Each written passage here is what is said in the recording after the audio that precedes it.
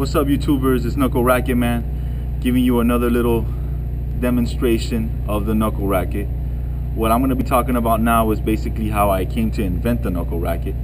I was at a racquetball court and I was using a racket and I realized you know you only use one hand with those things. I mean no disrespect to racquetball, you know it's a it's its own sport.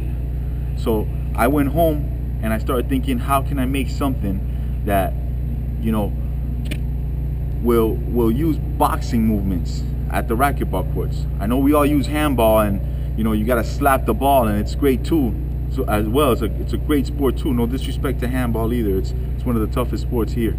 Um, but I decided to come up with the knuckle rackets. You know, basically you're able to punch the ball and you're able to give it all your might and strengthen it. And I, in time, made the knuckle rackets but they, I made them weighted. Uh, here they are.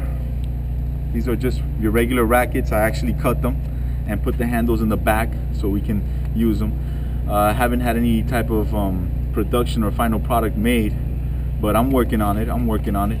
trying to find investors there. Calling you guys out always, you know. You guys hit me up, let me know what's up. Um, but yeah, that's how I came up with the knuckle racket. I was at a racquetball court and I just decided, you know, let's use both arms. So I started making these up and it's been about four years and it's going along pretty well. I use it for my own benefit.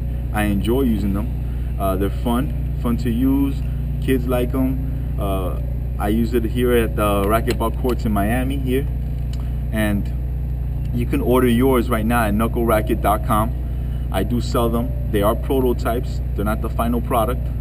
You can use them at any racquetball court, indoor, or outdoor, and they actually give you a intense workout. So feel free to hit me up there and um, comments at the bottom. Feel free to post them. Hope you like my video and stay tuned for the next videos. All right, guys? Talk to you later.